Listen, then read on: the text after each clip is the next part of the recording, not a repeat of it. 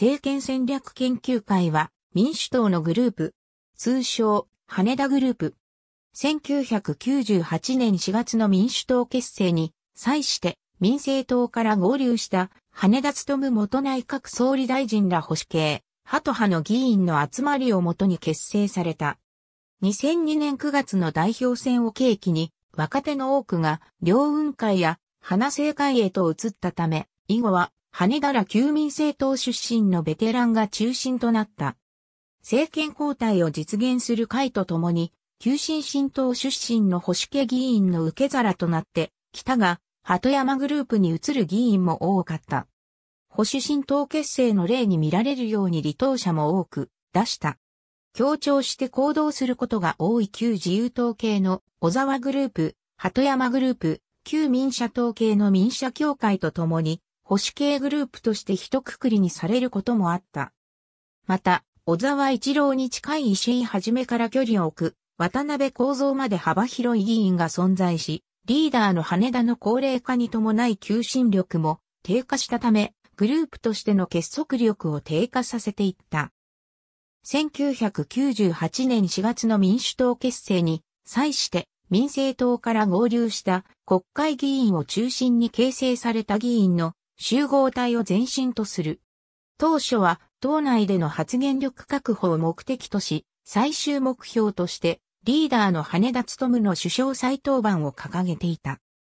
2001年10月17日に保守系議員の結集を掲げて、政権戦略研究会の名で正式に旗揚げし、10月23日にリーダーの羽田に加えて、熊谷博士、中野関生、石井はじめ、加野道彦、岩国哲虎を顧問に迎えた集団指導体制を取ることを決めた。2002年に入ると活動を活発化させ、2月13日にグループのメンバーが中心となって設立した夫婦別姓を慎重に考える会の初会合を開き、4月3日に北朝鮮による主権侵害に毅然とした対応を求める要請書を党代表の鳩山幸夫に申し入れた。2002年9月の代表選では熊谷を中心としたベテラン、中堅の多くが岡田克也擁立に動いたのに対し、若手の多くが野田義彦を支持して分裂状態となり、野田支持派は両運会や花政会へと移った。鳩山再選後の党役員人事では代表選への出馬を取りやめて、鳩山の支援に回った中野が幹事長に起用され、露骨な論考交渉と批判を浴びた。鳩山の対人論も出る中でグループは微妙な立場に立たされたが、自由党や社会民主党との統一会派構想を提起して党の立て直しを唱えた。12月の代表選で、菅直人が岡田を破って代表に選出された直後、国会対策委員長を歴任した熊谷や佐藤義雄などの有力議員が保守新党結成に参加してさらに打撃を受けた。2005年9月の代表選で前原誠二が菅を破って代表に選出された後、2006年3月に堀江メール問題の責任を取ってのだが、国会対策委員長を辞任すると、後任に渡辺幸三が起用された。4月の代表選では4月3日に、グループとして小沢一郎支持を決定し、小沢が代表に選出された。渡辺は続投したが、9月の代表選後の党役員人事で退任した。2009年5月の代表選では5月14日に自主投票を決定したが、羽田が鳩山支持を表明するなど、大半が鳩山を支持し、鳩山が代表に選出された。8月の第45回衆議院議員総選挙を経た政権交代後の内閣人事では、原口和弘が総務大臣、北沢利美が防衛大臣として初入閣し、党役員人事では石井が選挙対策委員長に就任した。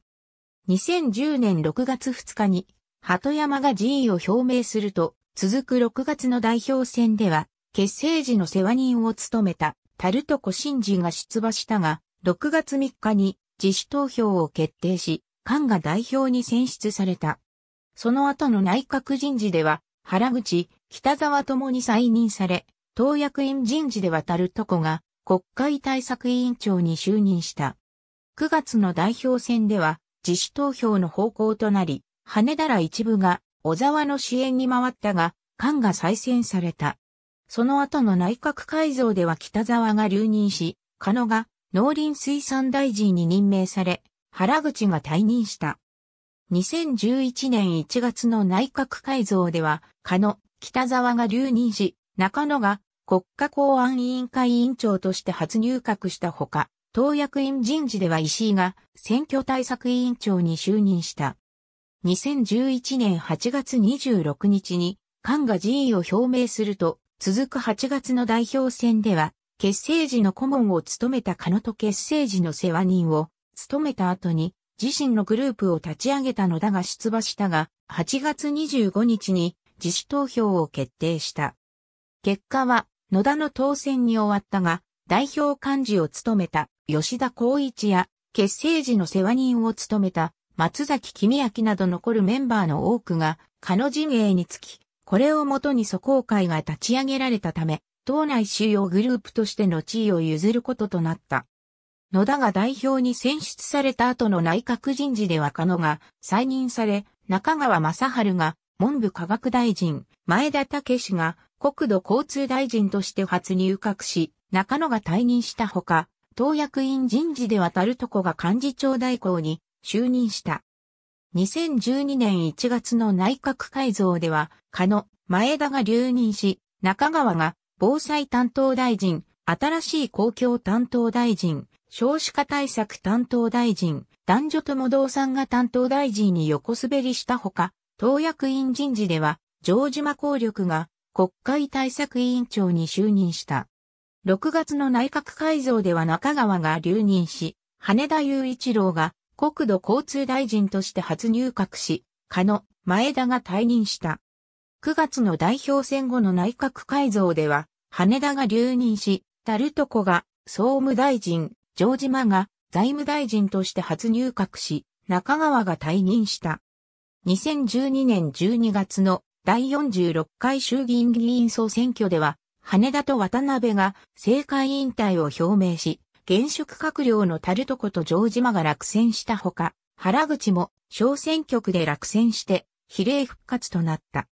12月の代表選後の党役員人事では中川が幹事長代行に就任した。2013年7月の第23回参議院、議員通常選挙では石井が落選し、越井市東の参議院副議長就任に伴う参議院議員会長選では北沢が出馬したが、越井市に近い軍事明に敗れた。は、ぶっこしゃ。ありがとうございます。